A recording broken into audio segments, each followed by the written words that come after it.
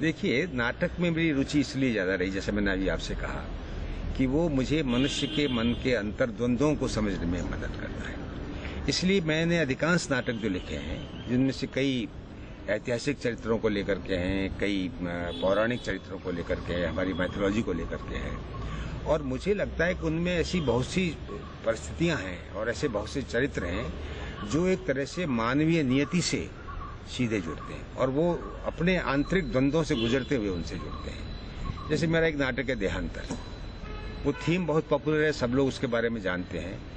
जयाति और पुरु की जो कथा है उसके बारे में। लेकिन मैं जब देहांतर लिखता हूँ तो मैं उन समस्याओं की बात उसमें कर रहा हूँ जब केवल यौवन की और बुढ़ापे की नहीं। मैं जो अंतर वैयक्तिक संबंधों में जो परिवर्तन आ गया है, वो एक नया द्वंद्व पैदा करता है मनुष्य के लिए।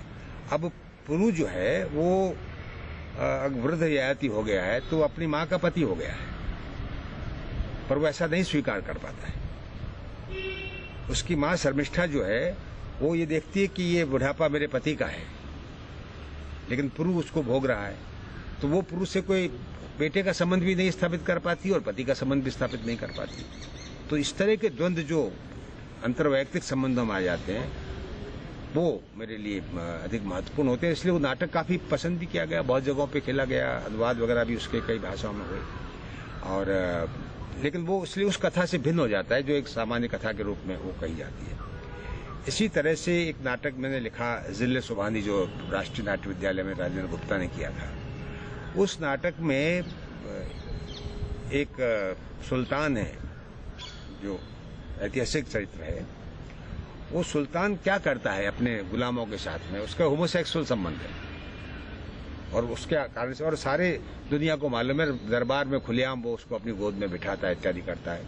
तो मैं ये दिखाना चाह रहा हूँ कि सत्ता जो है, वो कितनी बेशर्म हो सकती है और उसके बावजूद ही लोग कितना उसको, उसकी पूजा करते रह सकते हैं। चाहे वो मन से चाहे या ना चाहे, कितने बेबस हो जाते हैं उसके सामने। और किस तरह से वो, उसमें अगर आप नाटक को देखेंगे या पढ़ेंगे तो आप ये पाएँगे कि जो सारे दरबारी और दूसरे लोग हैं, उनमें से किसी की हिम्मत नहीं कि वो कुछ कह सके उसके बारे में। इसी तरह एक नाटक बलबन को लेकर के जो बाहर गुलाम बादशाह, उसका नाम है, जो जो एक तरह से सत्ता से जुड़ने में ही अपने व्यक्तित्व की सार्थकता समझता है।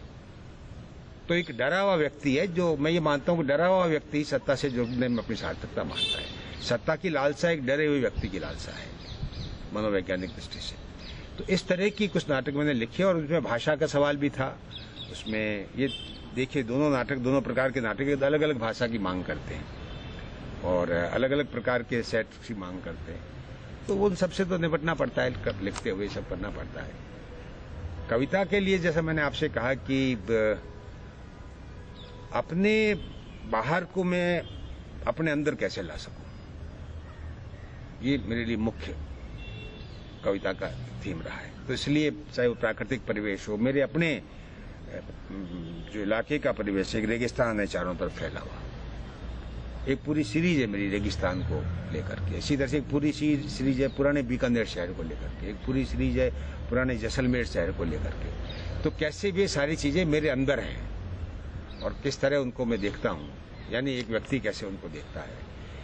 और वे कविताएँ इसलिए मुझे अधिक पसंद भी आती हैं कभी कभी मैं खुद भी बैठ के पढ़ता हूँ उनको अपने उसको समझने के लिए। स्मृतियाँ भी हैं उनमें, मेरे बचपन की स्मृतियाँ भी हैं, जिस शहर में रहा, उसकी भी, जिन मकानों में रहा, उसकी। पर कैसे भी ये सारे मेरे व्यक्तित्व का हिस्सा बन गई हैं, जो हर व्यक्ति के व्यक्तित्व का हिस्सा बन जाती है। इन चीज़ों में, और धीरे धीरे अभी पिछले कुछ अरसे से, जीवन के जो दूसरे सवाल है, मृत्यु का सवाल है, मनुष्य के जीवन की सार्थकता का सवाल है, ये शायद ज़्यादा फील कर रहा हूँ उम्र के बढ़ने के साथ। और वे सब चीज़ें इन दिनों में अधिक कविता में आ रही है। और एक तरह से यूँ समझिए कि सारा जीवन कैसे व्यर्थ हो जाता है और उस व्यर्थ जीवन में से कैसे एक छोटी सी चीज़ उसको सार्थकता दे देती है। इन सारी चीज़ों को लेकर के, इस तरह के अनुभवों को लेकर के कविता है।